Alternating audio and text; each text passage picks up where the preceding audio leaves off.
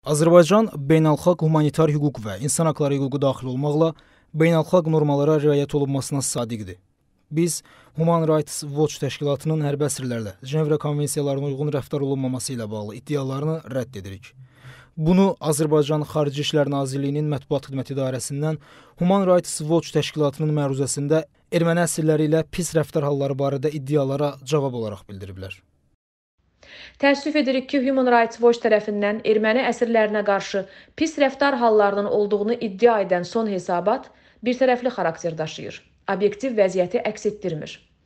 Əsassız dəlillərə və yoxlanılmayan faktlara əsaslanan bu cür hesabatların sistematik xarakter daşıması onların etibarlılığını şübhə altına alır. Azərbaycanda saxlanılan bütün erməni hərbi əsirlər və mülki şəxslərlə 1949-cu il Cenevra konvensiyalarının tələblərinə uyğun şəkildə rəftar edilib. Onlar işgəncə, alçaldıcı və pis rəftara məruz qalmayıblar. Onlara lazımi tibbi yardım göstərilib və hər biri saxlanıldıqları müddətdə tibbi müayinədən keçirilib. Müayinə zamanı xəsarət izləri aşkar olunmayıb. Azərbaycanda hərbi əsirlərin olması iddialarına gəldikdə isə vurğulamaq istərdik ki, Azərbaycan bütün erməni hərbi əsirlərini Ermənistana geri qaytarıb. Bu 10 noyabr 2020-ci il üçtərəfli bəyanatı ilə razılaşdırılıb. 2020-ci ilin oktyabr ayından etibarən hərbi əsir və mülki şəxslərə Beynəlxalq Qırmızı Xaç Komitəsinin nümayəndələri tərəfindən müntəzəm şəkildə baş çəkilib və ailə üzvləri ilə telefon və video danışıqlarına icazə verilib. Əlavə olaraq, Azərbaycan Respublikası Ombudsman aparatının nümayəndələri hərbi əsirlərin və mülki şəxslərin saxlandıqları yerləri ziyarət edərək onların şəraiti ilə tanış olublar. Azərbaycanda sui-istifadə halları ilə əlaqəli olduğu iddia edilən şəxslərə qarşı cinayət işləri açılıb. Xatırladaq ki, dəfələrlə edilən müraciətlərə və çoxsaylı iddialara baxmayaraq, Ermənistan Azərbaycanlı əsirlərə və həbsdə saxlanılan mülki şəxslərə qarşı alçaldıcı rəftar halları ilə bağlı hər hansı bir araşdırmaya başlamayıb.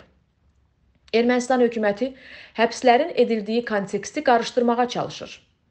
Qarşıdurmanın bitməsini ehtiva edən 10 noyabr 2020-ci il tarixli üçtərəfli bəyanatın imzalanmasından sonra Azərbaycanda saxlanılan şəxslər hərbi əsir hesab edilmirlər. Sözü gedən üçtərəfli bəyanatın imzalanmasından sonrakı dövrdə Ermənistan tərəfindən təxribat və terror fəaliyyəti ilə məşğul olmaq məqsədi ilə Azərbaycan ərazisinə göndərilənlər beynəlxalq humanitar hüquqa uyğun olaraq hərbi əsil deyillər və hesab edilə bilməzlər.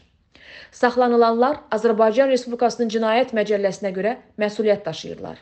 Saxlanılanlarla beynəlxalq insan hüquqları hüququ və Azərbaycan qanunvericiliyinə uyğun şəkildə davranılır.